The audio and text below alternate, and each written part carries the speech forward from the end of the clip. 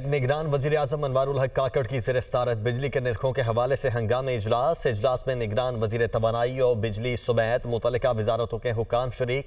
वजारत बिजली की बिजली की तफसील और निर्खों के मामले पर ब्रीफिंग। जावेद हुसैन, इस्लामाबाद से हमारे साथ मौजूद हैं। जावेद, क्या डिस्कशन चल रही है?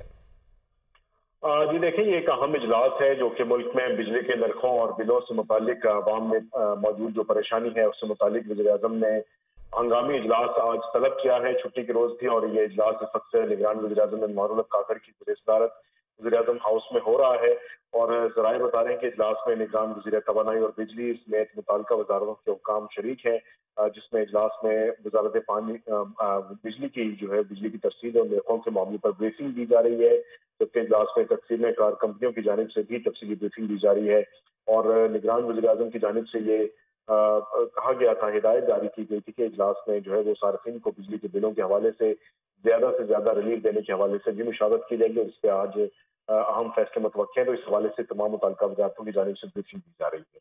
ठीक है, बहुत शुक्रिया जावेद आपका।